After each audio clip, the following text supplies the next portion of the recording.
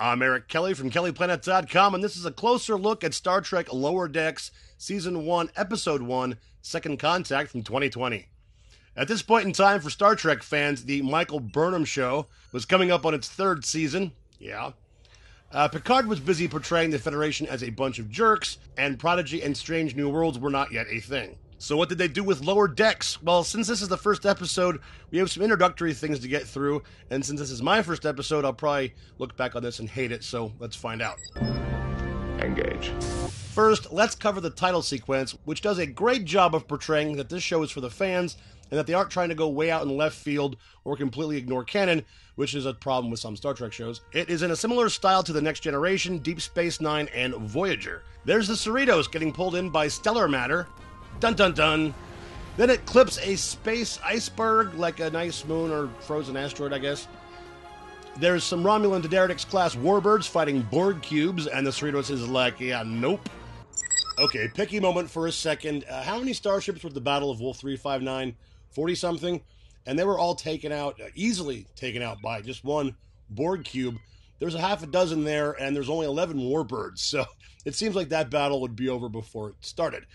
Uh, anyway, the music is very positive and Jerry Goldsmith esque. The score is done by Chris Westlake, and they even use the font from the next generation for the credits. So far, I'm into it. The first thing we see is a starbase that looks just like the ones from TNG or the movies, not the stupid one from Star Trek Beyond. Then we get a shot of our hero ship, the Cerritos, which looks like late 24th century design, which is correct. Even the shuttlecraft look like they did in the later seasons of TNG. The first shot of the bridge shows the displays use the traditional LCARS layout from the Enterprise D. We are introduced to our first main character, Ensign Bradward Boimler, though I think at this point he's just called Brad, voiced by Jack Quaid, you know, Huey from The Boys. And I totally forgot he was also in Rampage. And this character is portrayed similarly to similarly to those. We find out that the primary mission of the Cerritos is Second Contact, they do logistical support things like paperwork and setting up communication systems, deliberately not the exciting stuff the Enterprise would be involved in, and that's part of the running joke. The Cerritos is a California class starship, so they're all named after cities in California. All the shuttles are named after California things like Redwood and Yosemite, and yeah, we get it, California. We next meet another main character voiced by a very hyper Tawny Newsome. She regularly speaks at something like 500 words a minute, and her name is Ensign Beckett Mariner. Yep, that's a bat'leth, and she even mentions Worf. Worf, Worf, Worf. She is bold and outgoing, a foil to the much more reserved Boimler, and they are both in the command division. The science division is represented by Ensign D'Vana Tendi, who is training in medical. She is voiced by Noelle Wells and is an Orion. This species was initially seen all the way back in the original series from the 60s, but this is the first time we get to see an Orion as a main character. Hey, look, there's a Benzite, first seen as Mordock in the TNG episode Coming of Age. Rounding out our four main characters is Ensign Samantha Rutherford, voiced by Eugene Cordero. He is in engineering and is cybernetically enhanced. This is a concept that was mostly done thus far in Discovery. Rocking the traditional TNG style holodeck, Boimler mentions Cetacean Ops. Cetacean Ops? Which we actually get to see in later episodes. Not everyone knows this, but the Enterprise D also had Cetacean Ops, which is basically a big aquarium on a starship with whales and dolphins, hence the name. Supposedly, this was for navigational purposes, but that makes about as much sense as tardigrades and magic mushroom drive. Now that we have all this character stuff out of the way, the actual plot can happen. The crew of the Cerritos is on the capital planet in the Galar system, helping the Galardonians with second contact stuff. We find out that the second in command is Commander Jack Ransom, no relation to Rudolph Ransom, the captain of the USS Equinox from Voyager, and he is voiced by Trip McNeely. what the hell? What's his real name? Uh, Jerry O'Connell, who happens to be married in real life to Rebecca Romijn, who plays Una Chin Riley on Strange New Worlds. Anyway, Commander Ransom gets bitten by an alien mosquito just before beaming back to the Cerritos, which will matter later. Up on the bridge, we meet Captain Carol Freeman, who gives Boimler a special assignment to keep an eye on Mariner down on the planet and report if she breaks protocol. Meanwhile, in the Cerritos' version of 10 Forward, Commander Ransom turns into a space zombie from that alien mosquito bite and starts attacking everyone and turning them into space zombies also. This is where Rutherford got to, by the way. He's on a date with Ensign Barnes, the Trill who sits at ops on the bridge. So what happened to Tendi, you might be wondering? Well, she is in sickbay dealing with the space zombie problem with Chief Medical Officer Dr. T'Ana, who is Caitian, a species we haven't seen since the animated series in the 70s. Down on the planet, Boimler is spying on Mariner and tries to bust her for going against protocol. Mariner chews him out and even mentions this. I've been in a Klingon prison where I had to fight a Yeti for my own shoes for no reason. Which I take as a reference to Rura Penthe. Then they get attacked by a spider kind of thing that's the size of a freaking elephant. That's a problem for a while, but it turns out the giant spider is nice, like the Galardonian version of a cow. So Boimler and Mariner head back to the Cerritos, where the space zombie thing is not going very well. Oh yeah, that's Lieutenant Shax. He's the Bajoran head of security. So Dr. T'Ana figures out that the spider cow slime that is all over Boimler is the key to curing the space zombie apocalypse, and everything turns out okay in the end because this series is designed to be episodic. They throw a ton of references in right at the end. You're gonna be my Chadich from now on, baby. The first reference there is to Chadich from the TNG episode Sins of the Father, when Picard stood by Worf in front of the Klingon High Council. You know about Spock? Dude came back from being dead. Yeah, I think I've heard of He's a Spock. freaking Genesis device in FotCon. Go back to not being friends. How about Sulu? Ooh, he rocked a sword. That was his thing. Do you know Kirk? Yes. My man Worf? Yes. Gary Mitchell? I'm- you know Deanna Troi? Her body don't be banging. Yeah, that was pretty fast. That was um, Wrath of Khan, Search for Spock, Sword Sulu from The Naked Time, Kirk, Worf, Gary Mitchell, and Deanna Troi. I really don't want to pick on this episode because it's the first one. I can tell you from comments I've read that some purist Trek fans don't like it because it is different. That happens every time a new Trek show comes out. Some fans are turned off by the extremely fast pace of the dialogue, which I assume is a deliberate choice by the directors to cram as much into their 22 ish minutes as possible. All previous Trek shows had twice as much runtime. Some, uh, perhaps older fans, either don't get the humor or simply don't find it funny. And still, some people might not like that the animated show is certainly not for small children. I think the show is great. I've been a solid fan since the 80s, and I can tell you that this is something that I want to see. I love the references and Easter eggs, which might be missed by a more casual fan, but that's exactly why I'm making these videos. The show truly feels like it's in the same time frame as the Enterprise D and E, Deep Space Nine, and Voyager. All the current iterations of Star Trek are ultimately under the umbrella of Alex Kurtzman, and it took Picard, the show, until its third and final season to really give the fans what they want. Lower Deck seems to be doing this right out of the gate. And this is a closer look at Star Trek's Lower Decks Season 1, Episode 2, entitled Envoys. We're going to get right to the plot because I don't feel the need to do the main character introductions like I did with the first episode. Boimler is stoked because he got the best assignment on the ship, which is to pilot Klingon General K'orin to Tulgana 4 to attend peace talks. This episode is going to be heavy on Klingon references. Or maybe it's just because all Klingon names sound the same. Like they all have an apostrophe for some reason. Yes, that's it. Okay, writers, how about Antak, Azetbur, Barak, Chang, Gorkon, Gowron, Grilka, Harega, Kalis, Kang, Claw, Kol, Kolos, Koloth, Kor, Koral, Korax, Kortar, Kruj, Kurak, Kurn, Laneth, Lursa, Mara, Martok, Tenevik, Srelovok, or Worf. those are pretty much all the named Klingons, or most of the named Klingons in canon, and none of those have an apostrophe. Just saying. Yeah, keep it subtle. nuqneH is a real Klingon greeting. Good job.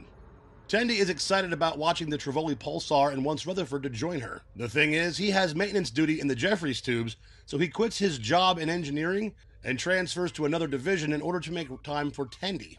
Seems a bit extreme to me. To mess with Boimler, Mariner gets herself assigned to General K'orin's shuttle as well. It turns out that she knows K'orin from some off the books gray ops stuff from back in the day. Do you two know each other? Yeah, we did some off the books gray ops stuff back in the day. We're like the same age. Back in what day? Boimler correctly points out that they are about the same age, so what back in the day stuff is she talking about? Okay, you go down.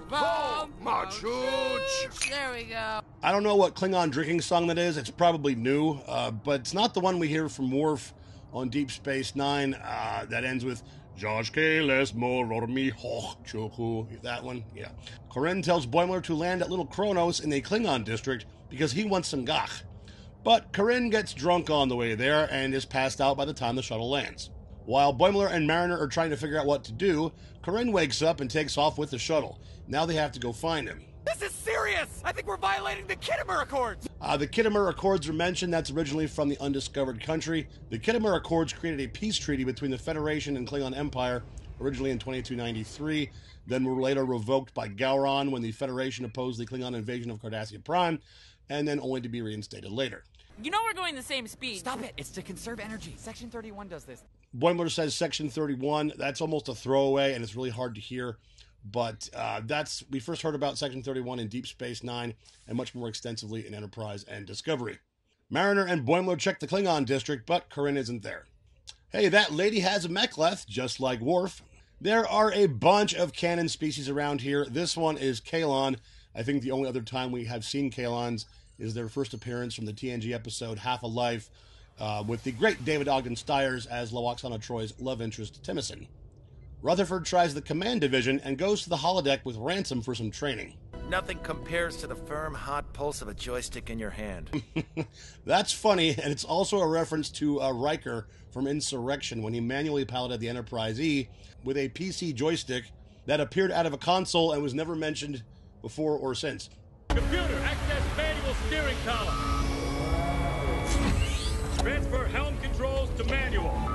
FYI, in situations like that, try employing the Janeway protocol. Obviously, a reference to Captain Kathryn Janeway. Collision alert, sir! The kindergarten on deck 8! It's gone! All the pre-K is gone! All the ship's children have been ejected into space! The kids into space gag, uh, that's got to be in there because the Enterprise D famously had lots of families on board all the time, which could be very problematic considering that it's always in dangerous situations. So that's probably why they, they put that in there for a little bit of acknowledgement. Rutherford keeps getting his crew killed in each simulation, so that doesn't go so well. Even though the last thing Mariner mentioned was the Andorian district to the north, All right, come on. There's an Andorian district just north of here. they end up in an area that looks like Risa instead. Yep, that's a great big Horga'hn, which of course one displays when they are seeking Jamaharon. Both references come from the TNG episode Captain's Holiday, which is also the first time we get to see Vash and Max Grodenchik as a Ferengi. He plays Sovok in Captain's Holiday, Par Lenor in The Perfect Mate, and then of course Rom on many episodes of Deep Space Nine. K'orin isn't here in Risa Land, and Boimler gets attacked by an Onabaj, which is hilarious and also one of the species made up just for this show. He is getting pretty depressed about his lack of practical alien knowledge, of which Mariner seems to have in abundance. Since command didn't work out, Rutherford is now trying his hand at medical with Tendi. Turns out he has a terrible bedside manner, and Dr. T'Ana throws him out of sickbay. So now it's off to see Shax to try out a job in security. Rutherford is put in the Computer, initiate combat simulation. Smorgasbord. Smorgasbord. That's awesome. Combat simulation, thanks to his cybernetic implant, can take out a whole group of Borg by himself. Mariner and Boimler finally get to the Andorian district, but Corinne isn't there either. Boimler's alien ignorance causes him to let a Vendorian thief get away. That Vendorian is a thief, and you let him get away! This is the first mention of Vendorians since the animated series. This causes a huge bar fight. Mariner has to calm things down, which makes Boimler feel even worse. Even though Rutherford is excellent at security, his heart just isn't in it, and he resigns his position so he can return to engineering. A Ferengi approaches Boimler and Mariner and offers them a ride. Mariner accepts as they are short on time, and she supposedly does not recognize that this is a Ferengi. Boimler thinks this is a bad idea, and when the Ferengi turns violent, Boimler chases him off, proud that he was able to recognize the danger when Mariner did not.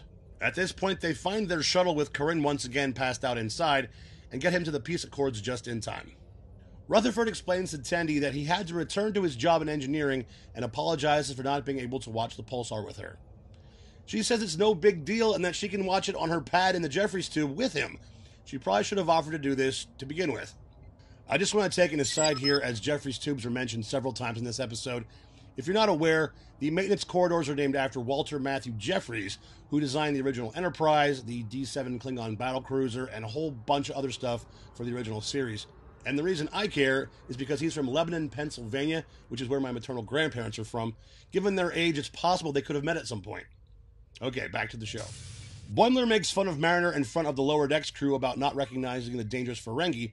What he doesn't know is that the Ferengi was a friend of Mariner's named Quimp, who is voiced by Tom Kenny, most famously known as SpongeBob SquarePants, and the whole thing was staged to bring his confidence up.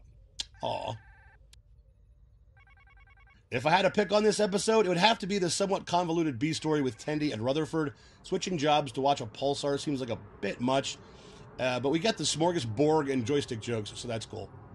I really like the myriad of Klingon references. It's almost like they brought Ronald D. Moore on board for this. They didn't, but most of the cultural Klingon stuff in canon is from his work in the 90s. It's also fairly obvious that they tried to cram as many species and familiar locations into one episode as they could. I pointed out several of these species in the video, but trust me, there's a lot more. It's just that they were literally like blink and you'll miss it type cameos. And this is a closer look at Star Trek Lower Decks Season 1, Episode 3 Temporal Edict. Let's get right to it. Engage. This opening sequence has nothing to do with the rest of the plot, but I'm going to talk about it because I think it's funny. The reference is to the concerts that took place on the Enterprise D, as there was an unusually large number of them throughout the show's seven season run. What is the meaning of this intense bass? Are you mocking me? Engineer Kanach, today you die! First of all, I think it's great that the Klingons can hear the bass from their bird of prey. I like heavier music myself, and I just find it amusing when Shax blames it on Boimler. Now on to the rest of the show. Initially, Captain Freeman was scheduled to broker a peace treaty on Cardassia Prime and prepared a speech, learn the dance, and Cardassian small talk. But I already prepared a speech. I learned how to do the dance. Oh! I spent weeks learning how to bark out Cardassian small talk. But Starfleet moved the location to Vulcan because Cardassians creep everyone out, and Freeman gets diverted to Gelrak 5 to deliver diplomatic trinkets. Captain Freeman sees this as a slight by Starfleet because she thinks that they think her ship and crew are a joke. Meanwhile, the lower decks crew is discussing what they call buffer time. This is the practice of telling command that the job will take longer than it actually will to provide free time and praise if completed early. This concept originated with Chief Engineer Montgomery Scott. It might be hard to catch, but Boimler was humming the theme from The Next Generation, which actually originally came from the first movie, but most people associate it with TNG. Anything to report, Ensign? Uh, keeping busy. I inventoried Cargo Bay 4, assisted with the baryon sweep of the warp nacelle, skipped buffer time, and went straight to work on holding... Turbo lift halt! Ah, the Baryon sweep reference. That's from the TNG episode Starship Mine, which featured both Glenn Morshower and Tim DeZarn, who would both play other roles in future episodes of Star Trek, and a pre Tuvok Tim Russ. Captain Freeman pressures Boimler to tell her about this buffer time thing, and her response is to mandate that all tasks aboard the Cerritos be completed on a timer. Soon the ship is in chaos and everyone is exhausted and overworked, running around in a frenzy. Everyone, that is, except Boimler, whose organized lifestyle allows him to easily complete his tasks. Horned gorillas, centric tar, spores that make you hook up with your best friend's sister. There was a triple reference. The Horned Gorillas are Mugato from the TOS episode A Private Little War. Sentient Tar is Armus from the TNG episode Skin of Evil that killed off Tasha Yar. And the Spores gotta be from the TOS episode This Side of Paradise. Ransom, Mariner, and a team depart on an away mission to deliver the diplomatic trinkets to the Galrakians. First, they must present them with the Honor Crystal to show that they come in peace because the Galrakians worship crystals for some reason.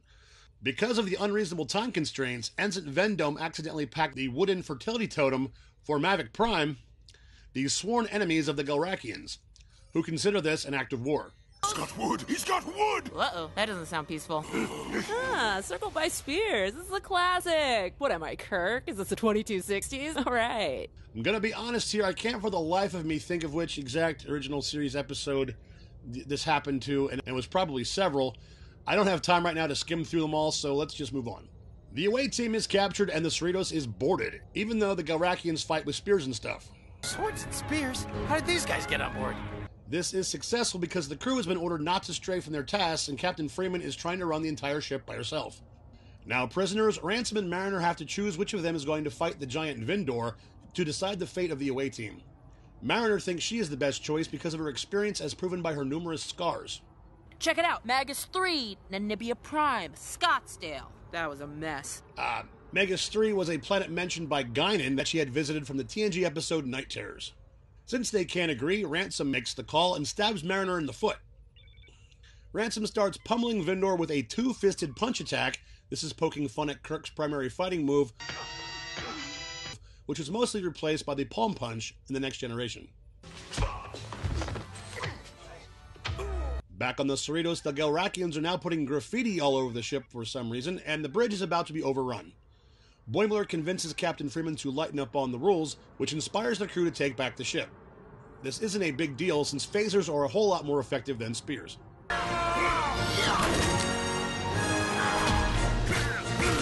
With many double fisted punches and verbal diplomacy, Ransom defeats Vendor and the away team is set free. The rest of the Galrakians are driven off the Cerritos, and the Honor Crystal is returned, establishing peace and mutual distaste for the wood worshippers of Mavic Prime. I'd rather be here with you than with those freaks on Mavic Prime. Wood worshipping freaks, right? Come on. Which doesn't seem very Starfleety of them.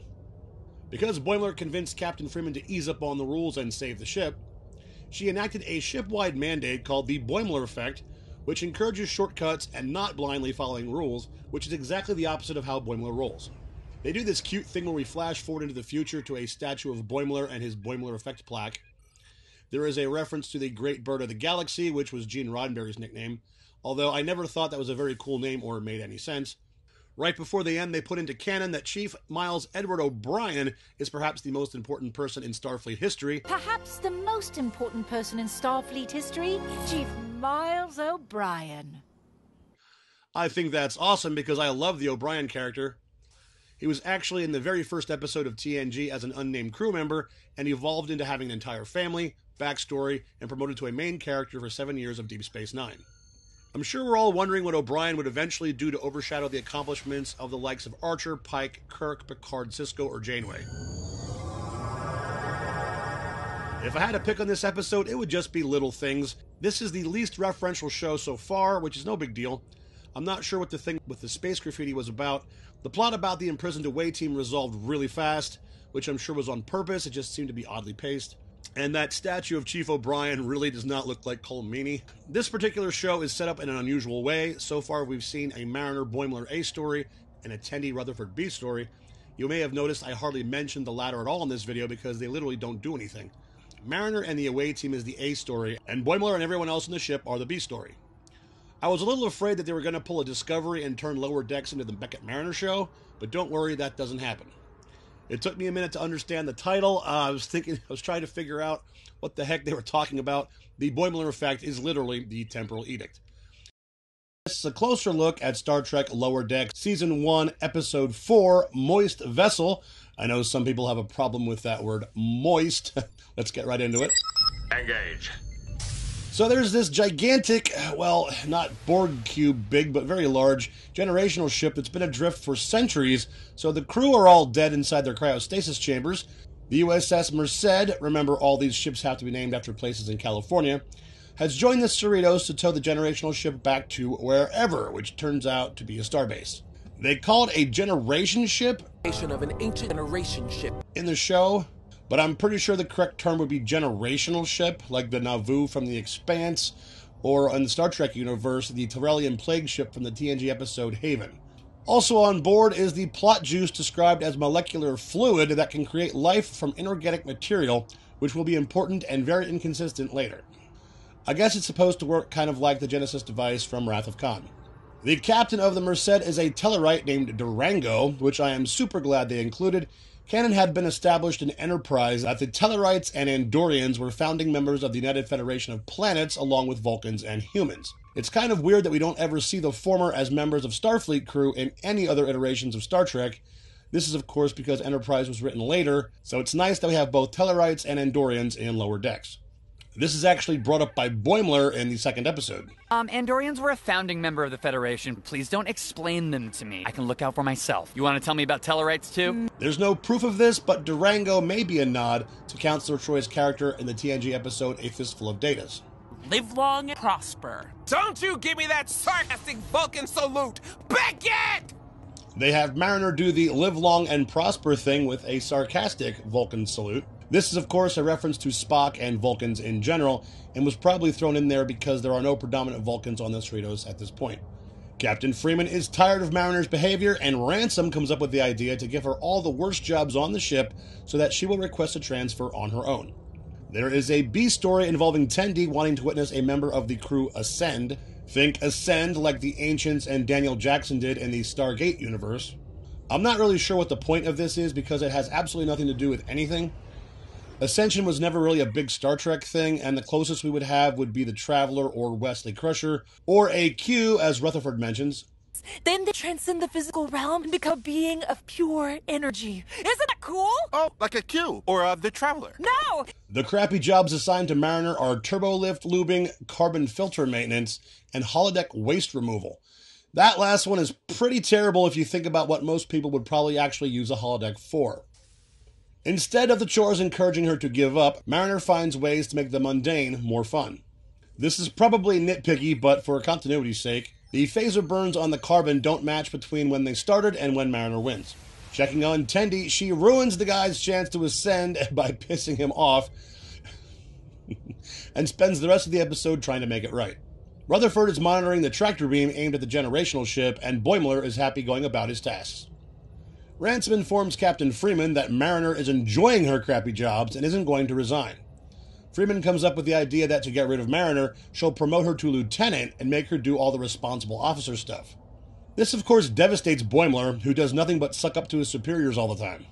Another nitpicky thing that's the wrong pip. Two solid pips denotes a full lieutenant, which means Mariner was bumped up two ranks from ensign. I suppose it's possible and that this was intentional, but normally she would be a lieutenant junior grade, which is one solid pip and one open pip. Mariner hates her promotion and all the things that come with it, and Boimler decides that if he wants to become a lieutenant, he's going to have to behave like Mariner. Be a bad boy. I'm not sure why promoted Mariner gets a gold uniform. That would mean she is in engineering. One would assume that she would still have a red command uniform, and this is never explained. They do a senior staff poker scene, which was done quite often in The Next Generation. There was even a junior grade poker scene in the TNG episode Lower Decks, which is where this show got its name and concept from. I'm going to take a moment and point out that in the mess hall of the Cerritos, crew are frequently eating Mexican or at least Mexican American style food like burritos, tacos, and taco bowls. This is surely done on purpose, and I just want to mention it because I love tacos and burritos, and just want to let the writers know that I noticed. Ah, these Florkas are a vital part of the ascension process for the Tamarians. Tendi mentions Tamarians, which we first see in the TNG episode Darmok. Darmok and Vilad at Tanagra. Oh, gotta figure out a way to be bad, get a promotion. Gotta be bad, Boimler, gotta be bad. And so Boimler report to bridge duty at 1530. Oh, I'll report to bridge duty. And they'll get exactly what they deserve. What? Uh, oh, nothing. That was a holodeck. Uh, Moriarty. Exactly what they deserve. Boimler's like, ah, Moriarty! this is a reference to the Sherlock Holmes character, Professor James Moriarty, who we first see in the TNG episode Elementary Dear Data, played by the excellent Daniel Davis, who, despite his accent, is from Arkansas and is not British at all. The time for games is over. Star Trek actually got in trouble for this from the copyright holders of Sherlock Holmes, just like with the Holosuite stuff they did with Bashir, that was a little bit too James Bondish. Don't forget, we're towing this huge generational vessel with the magic plot juice aboard. Apparently, Captain Durango is competitive and decides to move his ship closer than the Cerritos. This tears off some hull plating and lets the molecular fluid loose. The first thing this stuff that is supposed to create life from inorganic material does is envelop the Merced and create rocks and ice formations? Uh, okay. The last time I checked, rocks and ice are not organic. The terraforming fluid also attacks the Cerritos, and some vines and flowers form, but it seems to be mostly rocks and ice, which are decidedly not alive. Thinking they're about to die, Tendi's pal confesses that he was never going to ascend, and he just put on that persona to try to stand out in Starfleet. Of course, all this chaos forces Captain Freeman and Mariner to work together so they can save the ship. areas are saturated with carbon polymer dust. We need paraffin gas. Flood the ship, then trigger a reversion with radiation from the main deflector. Which they do with some Geordi LaForge or Data style techno technobabble. Oh yeah, Tendi's buddy ends up ascending anyway.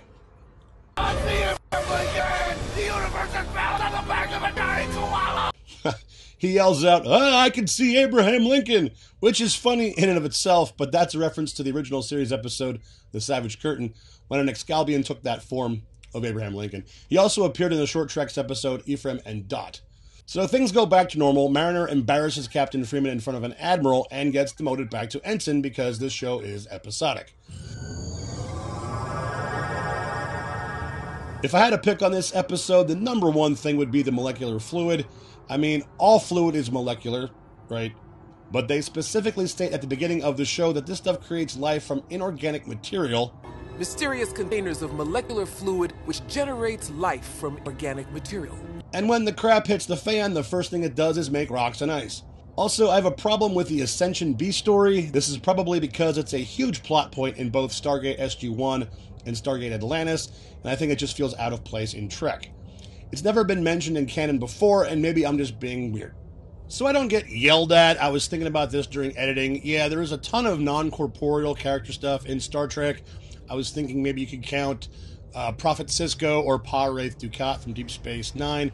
My issue, I guess, is that in lower decks they're presenting it like they do in Stargate, where you have to prepare for years and reach a certain level of calm, etc., etc. Uh, so yeah, I'm just being weird. As I mentioned earlier, they do some significant species stuff in this episode. We get a Vulcan reference, Captain Durango is a Tellarite, and the Tamarians are mentioned.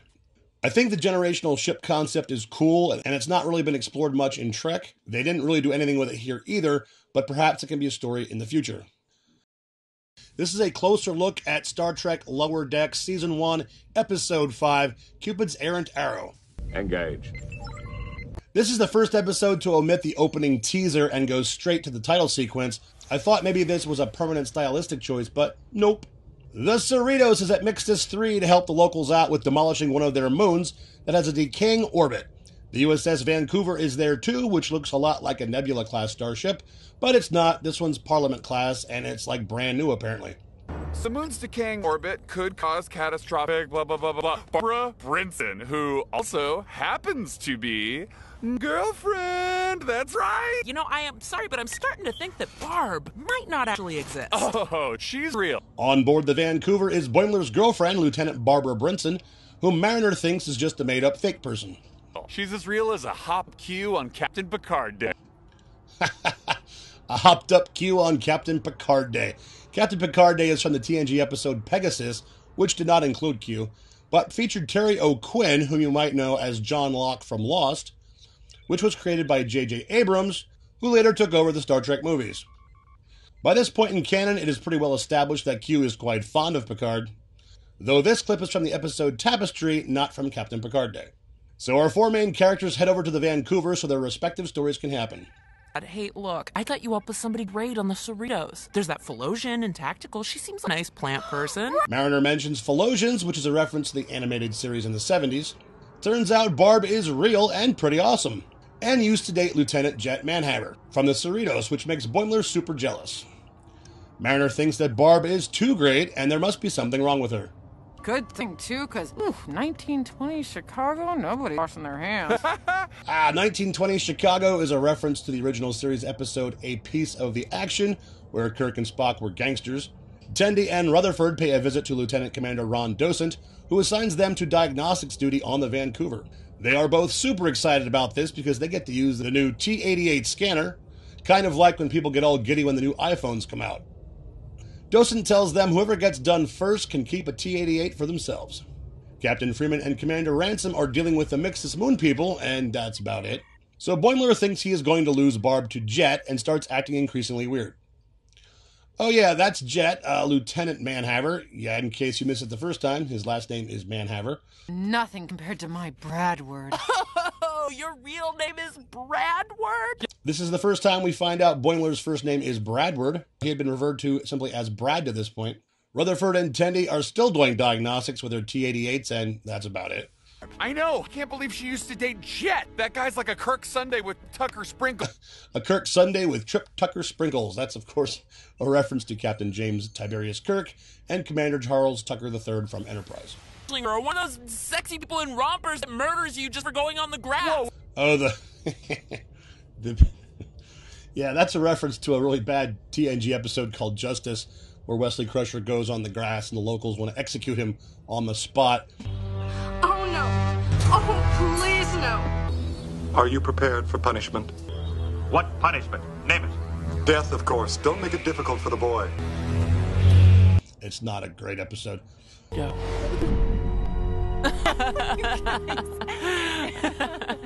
you hear what happened on the Enterprise? Apparently, Data's got an evil twin brother who teamed up with the Borg. Crazy, right? what? Man, it's like a new thing every week with those guys. Right. All right, we got a Deep Space Nine reference. Apparently, the Keto is Olympic class, the Enterprise D is mentioned, and Data and Lore are mentioned from the TNG episodes Descent 1 and 2. Captain Freeman and Commander Ransom are still dealing with the Mixtus Moon people, and that's about it. Mariner is trying to figure out what is wrong with Barb and first test to see if she's an android. And she's not.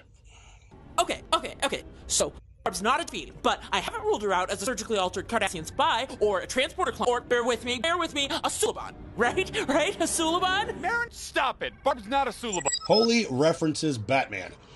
I gotta go back and pause this. Um, okay, that's the creature from the TNG episode The Dauphin. Pretty sure it's pronounced Dauphin. At least that's how we pronounce it here in Pennsylvania. Harrisburg is in Dauphin County. Uh, that's the M113 creature, aka the Salt Vampire from the original series episode The Man Trap. 1 0 and 0 1, the Bynars from the TNG episode 11001001, which in binary translates to E acute. I do not know what the significance of that is. The surgically altered Cardassian spy is Seska from Voyager. And of course, the Suliban from Enterprise. Boimler decides he needs to convince Barb that he is super cool, which of course does not work out so well. Mariner gets a hair sample from Barb in an attempt to prove she isn't human.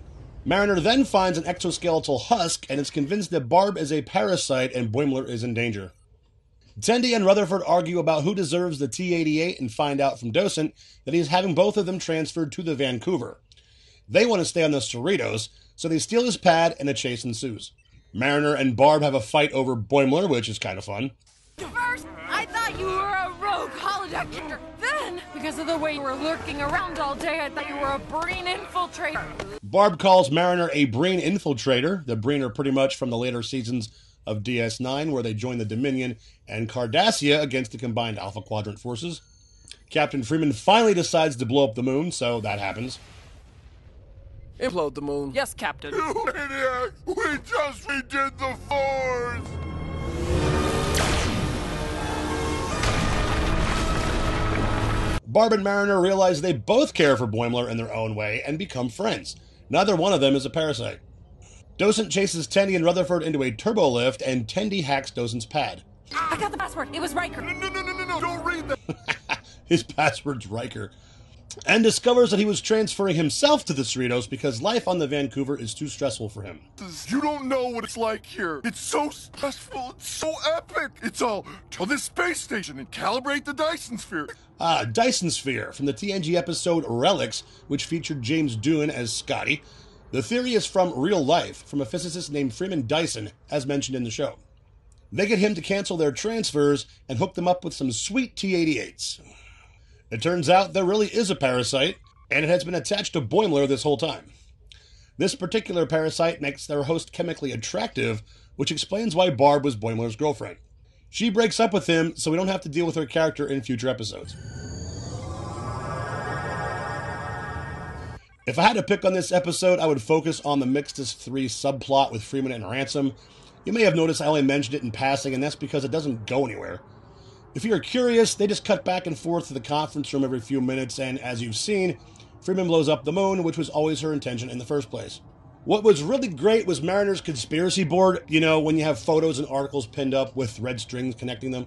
I mentioned quite a few references with that in this video, but if you go back and freeze it, you'll also see two different Klingons, a Romulan, a humpback whale from Star Trek IV, what looks like Data's daughter Lal before she was fully rendered, and if I had to guess, I would say the character Krit, played by Brad Greenquist in the Deep Space Nine episode Who Mourns for Morn.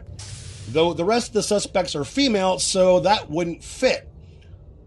Except I'm pretty sure the Bynars were gender neutral, and who knows what the Salt Vampire was supposed to be, and all three of those were portrayed by female humans. You'll also see a drawing of what I'm going to assume is a bacteriophage, or simply just phage, a reference to the Vidians on Voyager. Boom. And this is a closer look at Star Trek Lower Decks Season 1, Episode 6 Terminal Provocations.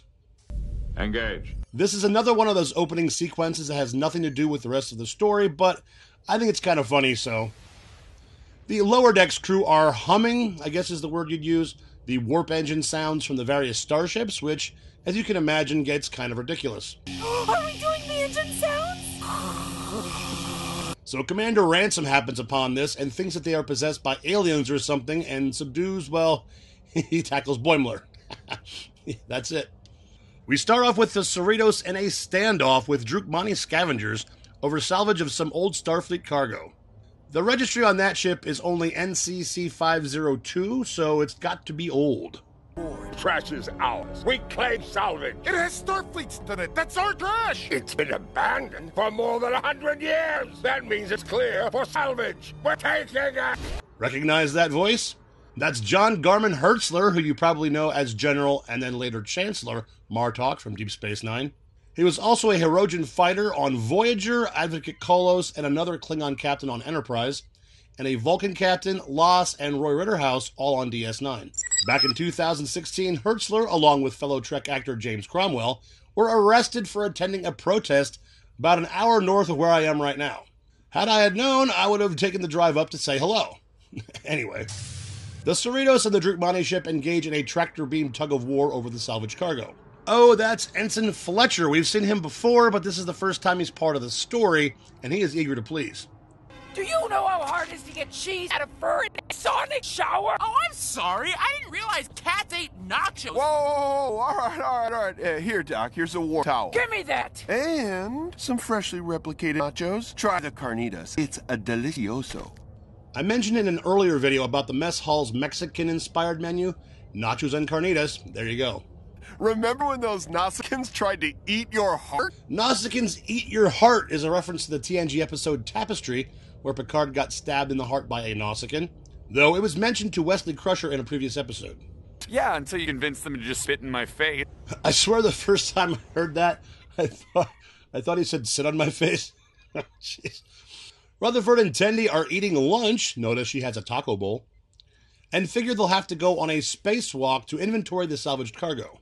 Tendi admits she never passed EV training at Starfleet Academy, and Rutherford assures her that he will help her train and they can use the holodeck program he's been developing. I didn't think of that sooner. Yeah, no, it's not just for hanging with Sherlock Holmes and Robin Hood and Sigmund Freud and Cyrano de Bergerac and Einstein and Da Vinci and Stephen Hawking and Socrates. Whoa, okay, so that's Sherlock Holmes, who was Data from the TNG episodes Elementary, Dear Data, and Ship in a Bottle. Robin Hood, who was Picard from the TNG episode Cupid. Sigmund Freud, a real person from the TNG episode Phantasms. We've got uh, Cyrano de Bergerac, who was Barclay from the TNG episode The Nth Degree. Einstein, a real person from the TNG episodes The Nth Degree and the poker scene in Descent. Da Vinci, played by John Rhys Davies from Indiana Jones. In the episodes Scorpion and Concerning Flight from Voyager, Da Vinci was also part of the TOS episode Requiem for Methuselah. Stephen Hawking, a real person, portrayed himself in that poker scene in Descent. And Socrates, a very old real person, from the Voyager episode Darkling. Wow. Mariner, Boimler, and Fletcher have to change out the isolinear cores that control the shields, but Mariner and Boimler want to go to a choo choo dance party. Oh, we're not gonna make it to the choo choo dance. God, I traded Kowalski 12 shifts so I could go. Choo choo dance? That sounds awesome. I don't even know if that's a real thing. I, I don't dance. Since he's a nice guy, Fletcher offers to cover for them and tells them to go have fun. On the holodeck, Tendi is introduced to Badgie, an assistant program designed by Rutherford, and Tendi begins her spacewalk training. Upon returning from the choo choo dance, Boimler and Mariner find Fletcher unconscious on the floor. Fletcher tells them he was attacked by an unseen assailant while he was working on the cores. Boimler notices one of the cores has gone missing. Mariner and Boimler pledge to get to the bottom of this mystery so Fletcher doesn't get in trouble. The first suspects they accuse are the Delta Shift, but they couldn't have done it because they were at the choo choo dance also. Just give us the core, we'll go, and this can all be over. What core? Wait, hold on. When did this all go down? I, I don't know, a few hours ago. What? We were at the choo choo dance with you. Since the Drookmani don't have any weapons, they use their tractor beam to launch space junk at the Cerritos. Seems like those missing shield array parts might be an issue. The damage to the Cerritos causes the holodeck safety protocols to go offline, and Badgie turns into a homicidal maniac. He attacks Rutherford and chases them both through a Bajoran marketplace and up to a Great Wall of China kind of thing. Ransom thinks they should fight back, and Shax wants to shoot at their warp core. Our shields can't take much more of this. These guys are begging for a fight. I say we give it to them. Phasers, look onto their warp core, Captain. Please, please let me shoot their warp core. I have been very good this month. Evasive pattern Sulu Alpha. Oh, come on! Evasive pattern Sulu Alpha, a reference to Hikaru's Sulu from the original series. Freeman is trying everything she can do to avoid getting into a fight with the Drookmani. I thought you said this trash wasn't worth fighting for. We're not fighting. Avoiding damage is fighting. we can talk this out. you. Boimler discovers that the missing core has been hidden in Fletcher's bunk this whole time. Fletcher confesses that while they were choo choo dancing, he hooked up a neural interface from the computer to his brain. Barclay did this in the TNG episode The Nth Degree. He faked the stolen core to hide what he did, which makes no sense at all. So, this core, corrupted by Fletcher's brainwaves, turns into a monster that wants to interface with everything on the ship, kind of like Cartman in the South Park episode Trapper Keeper. Trapper Keeper ready to absorb. Trapper Keeper merging. Trapper Keeper ready for hybrid. Oh, sweet. What's it gonna hybrid with now? I'm sorry. This is all my fault. Here's a tip. I'm going to burn your hearts in a fire! Let us alone, Badgie! If you haven't noticed and you're old enough to remember, Badgie is based on Clippy from the 1990s Microsoft Office. He constantly offers tips that you didn't ask for or need. Rutherford realizes that Badgie is affected by the same physical parameters that they are and loads a blizzard environment hoping to freeze him up. Get it? Because he's a program? The core monster has gotten too big for the transporter, so Mariner and Boimler force it into an airlock and blow it out into space. And it immediately drifts over and attacks the Drookmani ship. We are so getting fired for this. Freeman has had enough and orders Shax to target the Drookmani warp core. Drookmani have given me no choice. Shax, target their warp core. Yes! But it's too late. Weapon systems and shields are down. Dr. T'Ana suggests that they abandon ship. But then the Drookmani ship blows up, and the bridge crew has no idea why. Rutherford and Badgie get into a final showdown, which gets quite brutal at times. But his plan worked, and Badgie turns into a badge sickle. Badgie! Commander Ransom and Lieutenant Shax head down to lower decks to find out what's been going on. Mariner gives Fletcher all the credit, so he gets promoted and sent to the Titan and out of their hair. Again, the pips are wrong. It's highly unlikely that Fletcher would get double promoted from ensign to full lieutenant just like that.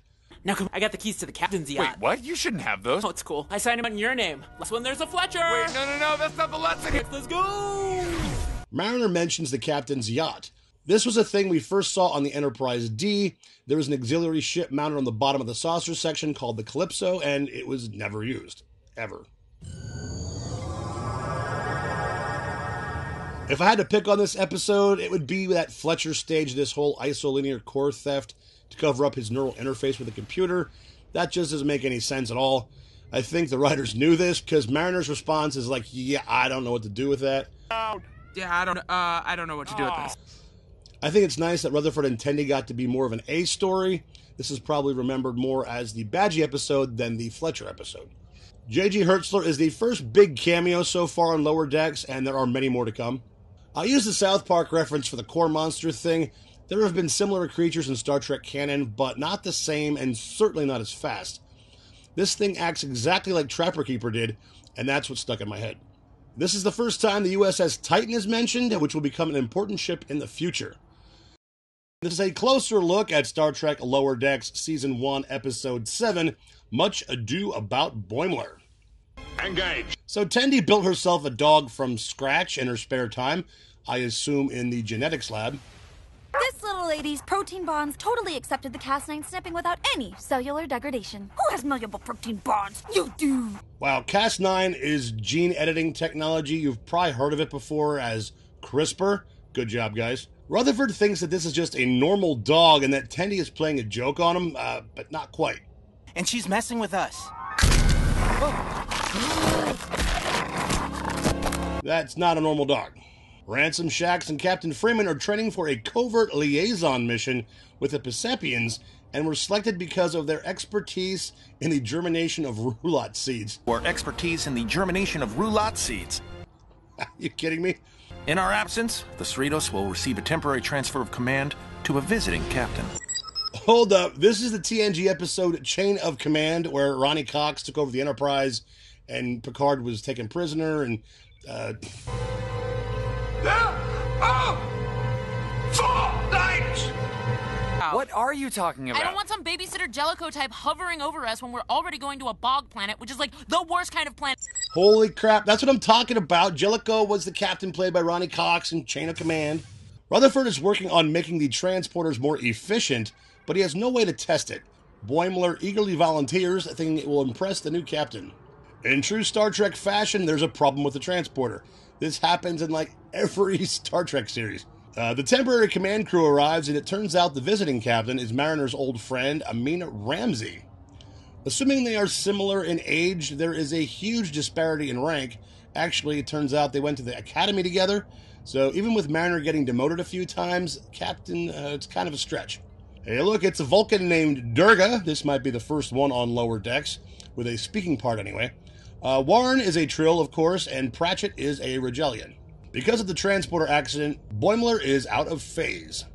Kind of what happened to LaForge and Ro in the TNG episode The Next Phase, but not as severely, as Boimler continues his duties and is still visible. But Captain Ramsey orders Boimler to sickbay. Dr. T'Ana informs Boimler that she has contacted Division 14 about his problem. Oh, all right, all right, calm down. I already alerted Division 14. the time travel police? No, D14 handles unsolvable space illnesses. The time travel police is a thing. We first see it in DS9 as the Department of Temporal Investigations in the friggin' awesome episode Trials and Tribulations, in which we had agents Dulmer and Luxley, anagrams for Mulder and Scully for you X Files fans. There are also time travel police in Voyager and Enterprise.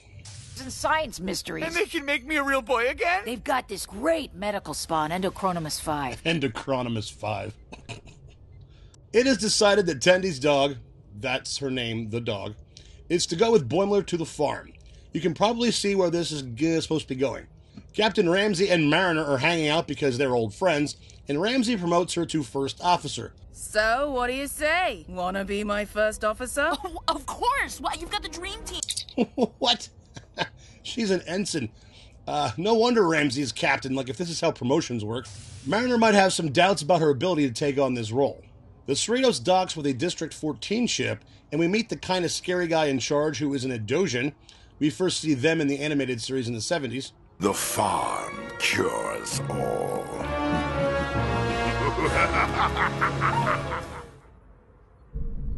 yeah, well, this one time Ramsey and I stole Professor Rubichik's old special car and drove it into the bay. It was hilarious. He was so pissed. Okay, Professor Saul Rubichik. How about Saul Rubinek, who played Kivas Fajo in the TNG episode The Most Toys? hey, those guys look like Axel Lottel Ashlacher. I looked up how to say this. It's like Asholach, something like that. I, am sure I'm butchering it, but yeah, those things. Uh, Mariner doesn't seem to be able to keep up with the responsibilities of being first officer, which I just noticed is in name only. She still holds the rank of ensign, as she should. so we check in with the covert ops team that I was comparing to TNG earlier. Very good. I've got to go. These roulotte seeds are highly volatile. I may be called to plant them at any moment. Godspeed, Captain. And that's apparently the joke.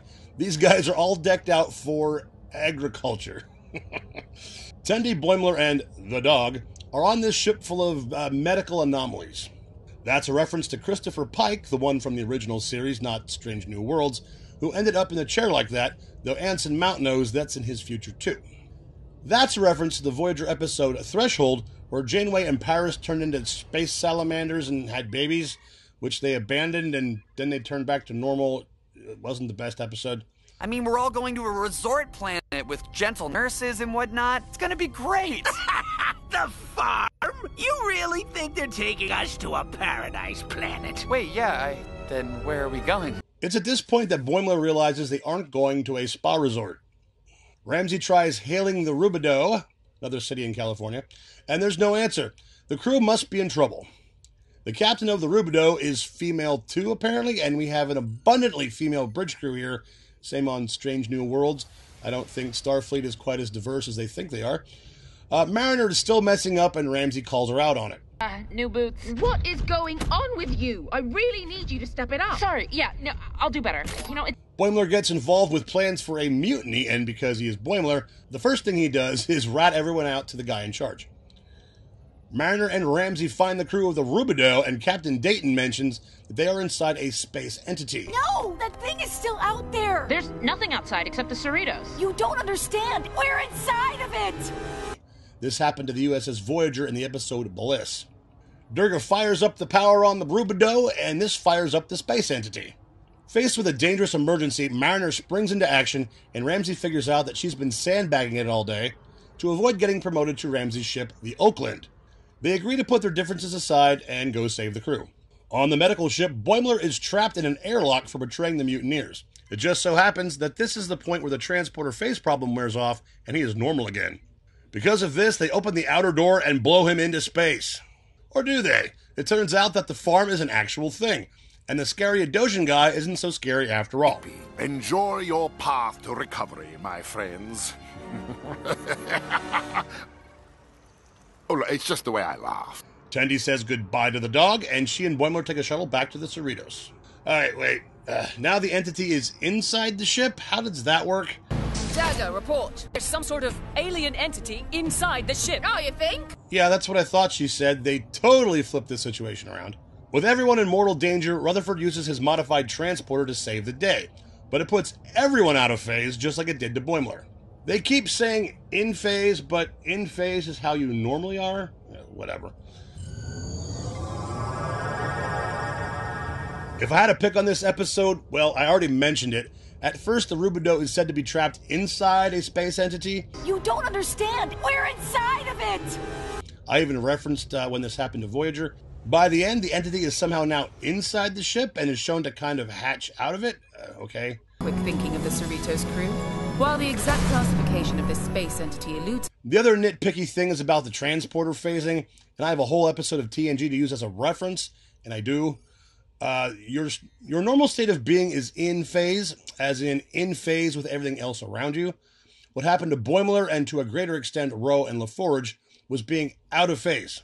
There's a lot of stuff about the dog that I did not include here, but I'm a big fan of dogs, and a lot of the humor comes from Tendi being an Orion, thus not being very familiar with how Earth dogs actually are. I also didn't include a lot of the dialogue between Ramsey and Mariner, but there's quite a bit of character development with Mariner in this episode, and that's great. Oh, and bravo! All the covert away team stuff was a total fake out, and I love it. They literally spent like 30 seconds of screen time on this in total, knowing darn well guys like me would be watching and waiting waiting for more. Good job. This is a closer look at Star Trek Lower Decks Season 1, Episode 8, Veritas. Veritas literally means truth in Latin, and this whole episode is about finding the truth. This story is told from multiple perspectives on a non-linear timeline, so I'm going to have to go into a bit more detail than normal because it might not make sense otherwise. Let's get to it. Engage. We start out on Ketuvon Prime, where the lower decks crew finds themselves at a courtroom looking kind of place, very similar to the way the Klingons do it, complete with a sparking gavel. The Cerritos senior officers are suspended in a scary looking energy beam. The ensigns are there to testify the truth about events that occur when the Cerritos made contact with the Clicket ship Twerk, not Twerk, on Stardate 57818.4. Mariner is to go first. According to Mariner, they were all just doing work in the repair bay that day. I said, who's the all-time biggest badass, not who's a dude nobody's heard about. Uh, everyone knows Roga Danar. No, they don't. Well, what about Khan, right? Khan was a genetically engineered supervillain. Dude was a space seed. Roga Danar from the TNG episode The Hunted, and Khan from Space Seed, like she said, The Wrath of Khan, Into Darkness, you know. They find out the ship is at red alert, and Boimler and Mariner have to report for bridge duty. Off the ship, and then we'll have to live on Earth, where there's nothing to do except drink wine and hang out at vineyards and soul food restaurants. That's a reference to the vineyards at Chateau Picard, which we first hear about in The Next Generation, but it goes into much more detail in the show Picard. The Soul Food Restaurant is a reference to Benjamin Sisko's father's Creole kitchen in New Orleans from Deep Space Nine. Captain Freeman beams back from the Clicket ship and can't understand why they are offended by her thanking them for a map of the Romulan neutral zone. This reminds me of the episode of Enterprise when Trip couldn't understand how he offended the Kreetassan visitors by eating in front of them. To us, eating is like mating. Ensign Boimler, I want options. Let's just let's use the impulse drive to Crazy Ivan. Oh, what the hell is he talking about? Crazy Ivan is from the Hunt for Red October Console, not Crazy Ivan. All stop, quick quiet. And is a Soviet submarine maneuver where the captain will abruptly turn to see if they're being followed. This could be dangerous because the tailing sub could crash into you. Since that is a dumb plan, Freeman tells Mariner to send them a message. which she takes to mean fire phasers. Of course, this pisses off the Clicket. Target their bridge! Stop! Stop! What are you talking about? The prosecutor type guy, whose name is Clar, by the way, doesn't buy Mariner's story. He wants to know about the map, which Mariner doesn't remember, even though it was part of her story just a minute ago. And she is suspended above a tank of eels. Now it's Rutherford's turn, and he is asked to explain the events of Stardate 57791.1, which would be about 25 days before Mariner's story. Shax and Billups order Rutherford to download Romulan flight manuals and repair information into his cybernetic implant. He does this, but it's glitchy and causes him to randomly shut down and reboot. Rutherford wakes up in a Vulcan shuttle with some unconscious Vulcans that he apparently neck pinched himself. Uh, they jump out of the shuttle and Rutherford blacks out. He wakes up in a Vulcan museum, and we get all kinds of ship references. That's a K't'inga class Klingon battle cruiser, a later TNG style Federation shuttle, a Ferengi shuttle, a Jem'Hadar fighter, and I think that could be a Tholian ship. There's a TOS style shuttle, and the Vulcan ship from First Contact.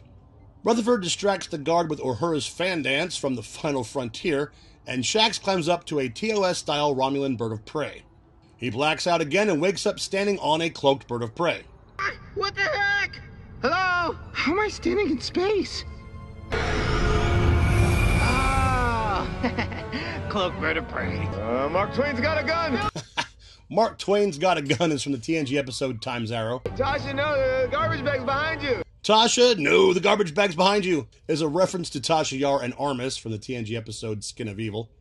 Rutherford gets Billups back to the Vulcan ship before he blacks out again and wakes up at a Gorn wedding where he gets attacked. Gorn wedding! Ah, get me out of here, implant! Ah! nice try, Gorn! We first see the Gorn in the original series, then the animated series, then again in Enterprise and Strange New Worlds. Klar interrupts because he just can't believe a story about a Gorn wedding, which is kind of ridiculous. He wants Rutherford to explain the details of how he stole the bird of prey. Rutherford has no memory of this, so he is suspended above the eels with Mariner. Now Tendi has to testify, but no stardate is given, though from what we learn later, we can assume her events happened very recently. Because Tendi's mission is classified, some characters and dialogue are redacted in quite an amusing way. Tendi's in the conference room on the Cerritos cleaning cat fur off the chairs because Dr. T'Ana is a, a cat, or a Caitian. Commander Ransom shows up with a team of an Andorian and what looks like two humans. Ransom breaks out the map from Mariner's story and lays out a plan to cross the neutral zone. Using the bird of prey from Rutherford's story, Oh, snap! That's the ship from my story! the team makes their way to Romulus and infiltrates a secure Romulan facility. You know who I hate? Remans. Uh, they're the worst. There is a reference to Remans, which we first see in Star Trek Nemesis. The first Reman was played by Ron Perlman. The team is making an escape with the package they came for, with a bunch of Romulan guards hot on their tail. Tendi turns into Neo or Trinity and takes out the lot of them all by herself. Whoa! I thought she was just supposed to keep us out of here. She was. I do not know what's going on here. This is crazy. Clara calls Tendi out on her bullcrap ninja powers, which actually gets reasonably explained in a later episode. You did not do martial arts on multiple armed guards. You're right. I didn't. and Tendi is sent up with Mariner and Rutherford to the Eels. Boimler is told that his friends will be set free if he would just admit the truth about what the bridge crew did during the events in question. Boimler explains that they don't know, they never do, because they are just lower decks and aren't always told what's going on. Klar wants Boimler to admit that Starfleet officers are always in full control, but Boimler tells him that sometimes even the senior staff messes up and cites some instances. And this is where we get a cameo from an old school Trek character, Q, voiced by John de Lancie, who is from Pennsylvania, by the way, dressed in his costume from the very first TNG episode Encounter at Farpoint, or when Ransom goes on dates without prior research. How about we keep this party going in my quarters? Hey, hey, Jack. FYI, you're hitting on a salt vampire. Yeah, right, nice try. Salt vampires died out more than a century ago. All right, cool. Be safe. This is another reference to the Salt Vampire from the TOS episode The Man Trap. We might be in a parallel dimension. Alright, this is a reference to the Mirror Universe alternate realities. We have Captain Freeman with a mustache and goatee like Mirror Spock. Shax is a Kaelon instead of a Bajoran and seems to be female. Ransom looks like a Kylie, which would be a neat reference since that's from the first season of Strange New Worlds, which I thought was written after this. So, how does that work? Uh, maybe it wasn't. Boimler is a mosquito man, and I'm not sure what Mariner is in canon. Maybe someone can help me out with that. The doctor that comes out of the turbo lift is the human and male version of Dr. T'Ana, both voiced by Gillian Vigman. We're explorers. Of course, we don't always know what's going on. Did Picard know about the Borg? Did Kirk know about that giant Spock on Phylos? Picard and the Borg from TNG in First Contact, and Kirk and Spock on Phylos is from the animated series episode The Infinite Vulcan. Did Dr. Crusher know about that ghost in the lamp thing from the Scottish planet that she hooked up with that one time? That whole thing. Dr. Crusher and the Space Ghost is from the TNG episode Sub Rosa, and the ghost was played by Duncan Regehr, who would later be Shakaar on Deep Space Nine. That's the truth. Whatever they did, I guarantee you it was all for good. You have shown no evidence that they're guilty of a crime. In fact, I find you guilty of trying to take them down with this sham of a trial. Drumhead! Drumhead, The Drumhead, was a very social commentary ish episode of TNG where Picard gets accused of treason. Klar doesn't understand why they think they're at a trial and turns up the lights. Wait, you think this is a trial? Can someone bring up the lights? They're at a party to celebrate Klar's rescue after being kidnapped by Romulans. Klar was what was inside the package they stole from Romulus. The lower decks crew kind of freaks out on Klar, and I can't say I blame them.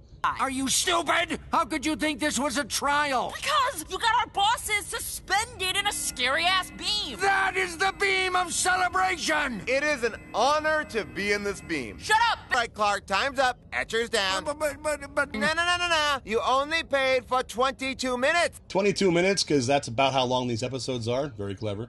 Before things get wrapped up, we get one more appearance from Q, which is awesome. I challenge you all to a duel. Get out of here, Q. No, we are done with random stuff today. We're not dealing with any of your Q bullshit. Oh, s'il vous plaît, Mariner. I want to put humanity to the ultimate test. Okay, I'm not French. No, go find Picard. Oh, Picard. He's no fun. He's always quoting Shakespeare. He's always making wine. If I had to pick on this episode, I guess it would just be the stretch they had that they had no idea they were at a party. Things like the eels are explained as conforming to local customs, and I guess it would be hard to notice things in the dark. The title could be seen as a hint, kind of, because all Clara wanted was the truth. I don't know why Mariner couldn't remember the neutral zone map, even though she just told a story in which it was included.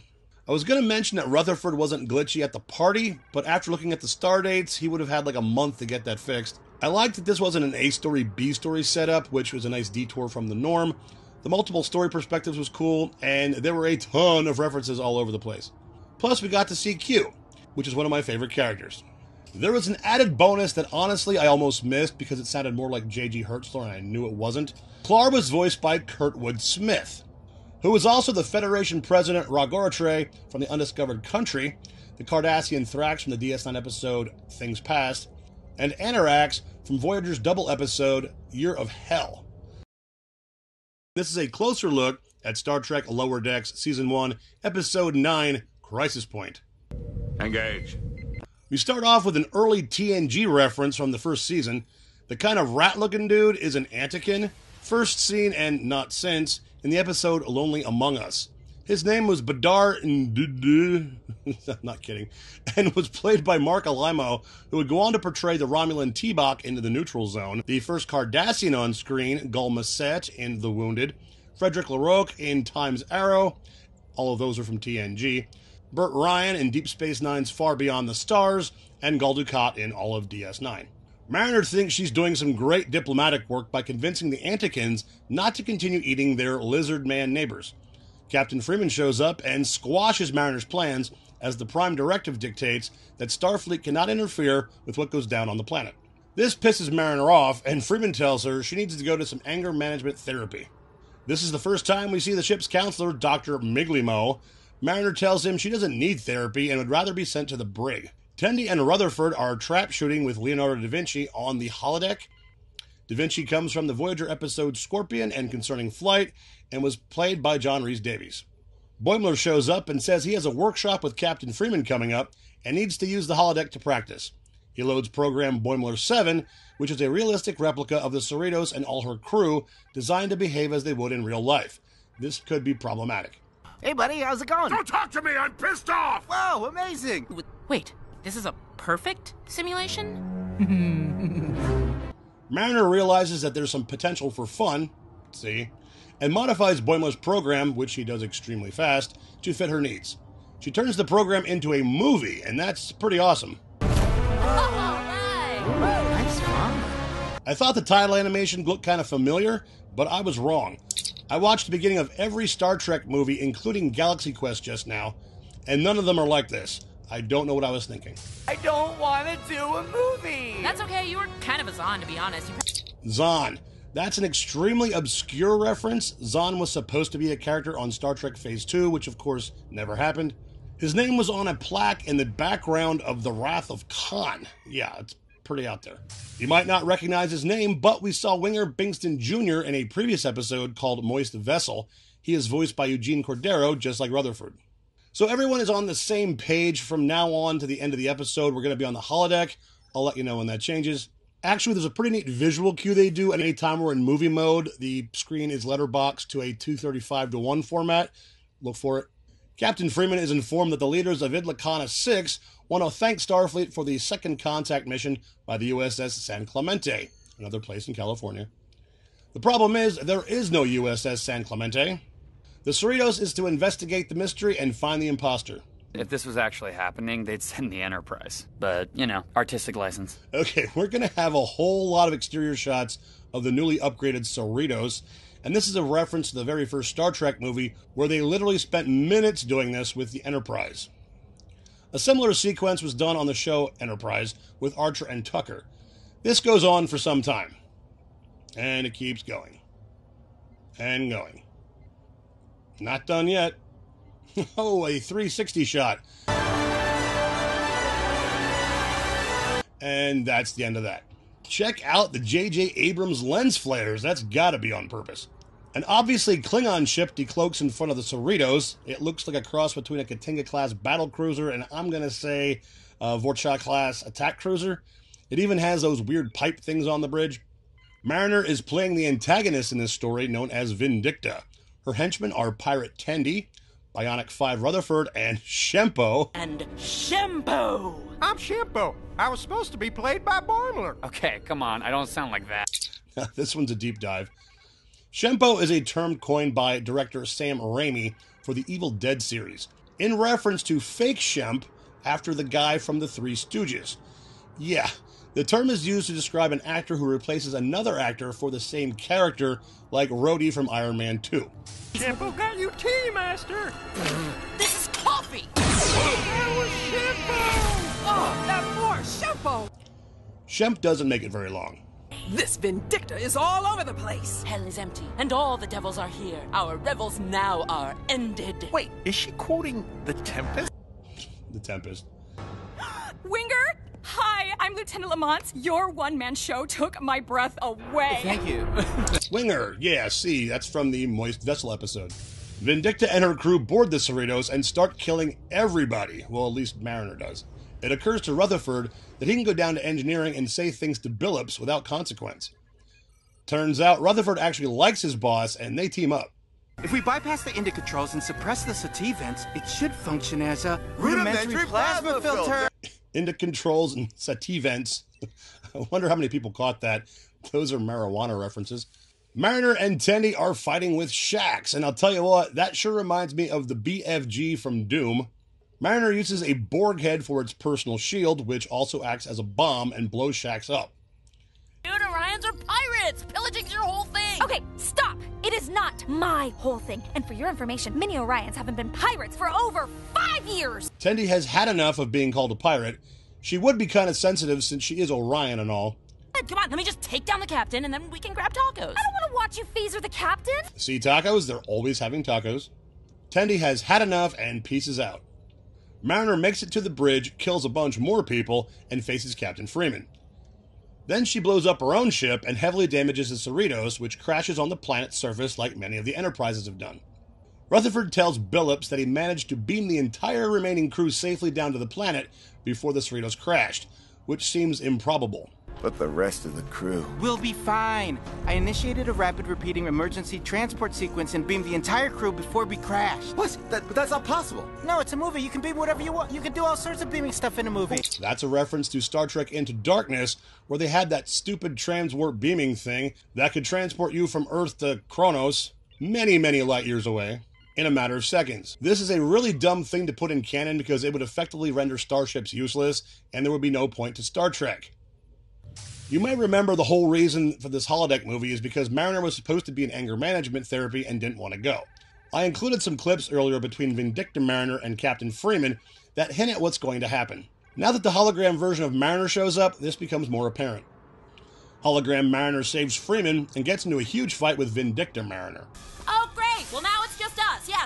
Ruining the awesome captain murder this was all building to. I know you dressed up like Toby Targ every Halloween, even when you were too old. Toby Targ is a reference to Voyager episodes Tsunkatse and Author Author. Toby the Targ was a plush toy owned by B'Elanna Torres. Fighting yourself is super self actualizing, and you can see Mariner is getting the therapy she didn't want in the first place. Vindicta Mariner realizes some things about her relationship with her mom, and Hologram Mariner blows up the ship, ending the simulation.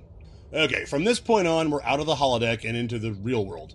Mariner apologizes to Tendi for being insensitive about the pirate thing, apologizes to Captain Freeman for being an angry jerk, Later, skater. which makes Freeman suspicious. Later, skater? I know she's up to something. If she's planning something, I have a right to know. Carol, you're being a pineapple right now. Ugh, stop referencing food! Gee, I wonder where Mariner gets it from. That ensign is wearing a visor like Geordi LaForge did in TNG.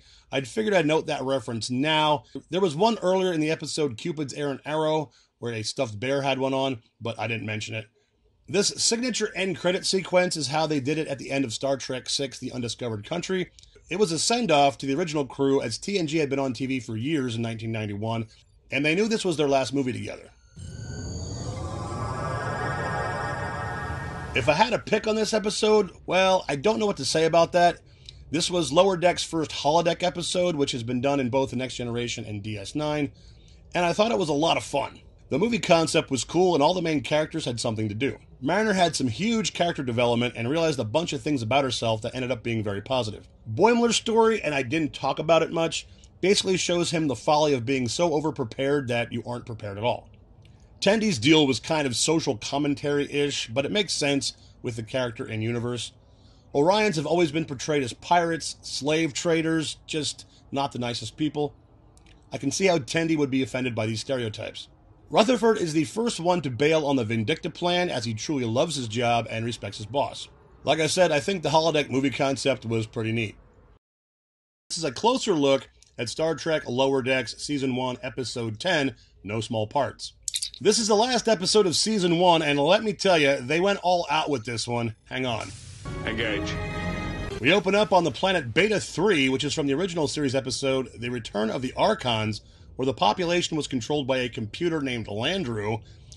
Hey, there's a screenshot of Kirk and Spock from the animated series. Now, this is many years later, and it turns out they went back to worshipping Landru, and the Cerritos crew are trying to set them straight. Can't believe you all started re-worshipping the dang computer. Oh, this is literally the exact thing Captain Kirk taught you. Maybe write it down this time. Landru. Landru. Yeah, I know. It's always weird revisiting planets from the TOS era. TOS? These stands for Those Old Scientists. I'm sorry, that's good. I just hate seeing a perfectly good society get destroyed by a gamester of Triskelion or whatever. From the TOS episode, The Gamesters of Triskelion.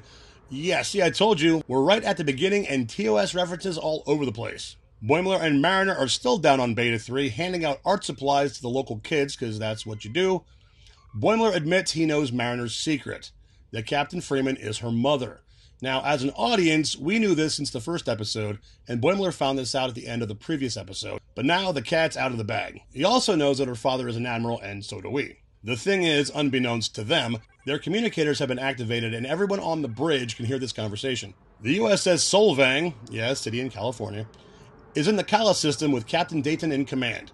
Remember her? She was the captain of the Rubidoux, which got destroyed in episode 7. This huge freaking ship appears out of nowhere and attacks the Solvang, which is destroyed. Captain Dayton has all the luck. Back on the Cerritos, we find out that Tendi gets to be an orientation liaison for a new recruit, much like Boimler was for her in the first episode. We also find out that Rutherford has a new attitude selector on his implant. I bet this is going to play out much like Data's emotion chip. Yeah, Steve, I remember. You said Wolf 359 was an inside job. For those of you unfamiliar, the Battle of Wolf 359 references the amazing TNG episode The Best of Both Worlds when Picard became Locutus of Borg. Starfleet took a stand at Wolf 359 to stop the Borg cube from heading to Earth, and 40 starships were lost. Thanks, Mariner. Changing's not real. The Dominion War didn't happen. The Dominion War was a huge season long arc from Deep Space Nine. At this point, the Cerritos receives a partial distress call from the Solvang, which we know has been destroyed. Ransom points out that the USS Titan is in range to check it out, which is huge later, but Captain Freeman decides to check it out for herself. Most of the Mariner parts of this show have to do with her coping with the newfound popularity because everyone knows the captain is her mom. Boimler is trying to use this position to get promoted to the USS Sacramento. So, hey, um, do you want me to call you Exocomp, or do you have an alphanumeric name? No, I didn't want to sound robotic. I wanted to be called something normal. What is it? Peanut hamper. Peanut hamper? I love it! Tendi's new recruit is an exocomp, which is from the TNG episode The Quality of Life. Her name is Peanut Hamper. Okay. Mariner decides that she should go for the Sacramento promotion because no one there would know who she is. This, of course, bothers Boimler. It seems Peanut Hamper is excellent with medical skills and really impresses Dr. T'Ana. The Cerritos arrives at the Kella system to find the wreckage of the Solvang. That huge ship attacks the Cerritos too. This is pretty serious. Shields at 50%. Ho, ho, ho! I thought the Enterprise was strong. This isn't the Enterprise. This is the Cerritos. We thought you were the Enterprise. oh my god. It's the Pakleds. We first saw them in the TNG episode Samaritan Snare. Gremden Goldenberg backwards, was played by Christopher Collins, aka Chris Latta, who was also the Klingon Captain Kargan from the TNG episode A Matter of Honor, Durg from DS9's The Passenger, and a guard from DS9's Blood Oath. Bonus, he was also the original voice of Cobra Commander and Decepticon Starscream from the 80s. Mariner suggests the only way to save the Cerritos is to create a computer virus and infect the Pakled ship. Sound familiar? Rutherford enlists the help of Badgey from episode 6, but Badgey is a homicidal maniac, if you remember, and tells Rutherford the only way to get the virus on the Pakled ship is to transfer it himself with his implant. The Pakleds board the Cerritos and start tearing it apart. The crew does their best to repel the intruders. Captain Freeman is injured and taken to sickbay. Ooh, I got it. One illegal virus, but someone has to take it to the ship. Peanut Hamper! Oh my gosh, Peanut Hamper! You're gonna save the day! I'm gonna pass. Peanut Hamper, this is not cool. You know what? I'm just going to beam myself out of this whole sitch. Or whatever. You know what? Peanut Hamper is a stupid name! They realize that Peanut Hamper could take the virus to the Pakleds, but she's like, nope, and pieces out. Shax grabs Rutherford and vows to get him to the Pakled ship to save the Cerritos.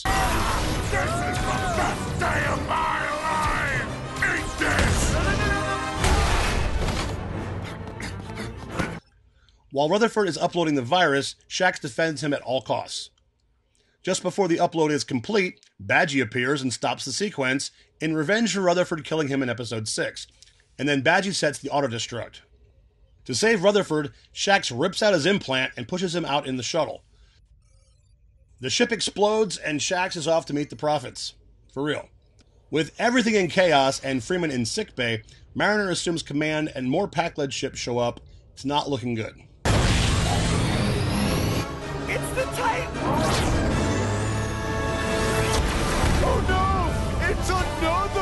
Enterprise! In the nick of time, the USS Titan shows up and starts kicking Pakled ass. If you think that's cool, just wait. Red alert! A Pakled party and I wasn't invited? Target those ships and fire! Oh, hells yeah. The captain of the Titan is none other than William T. Riker. And yeah, that's Deanna Troi at his side.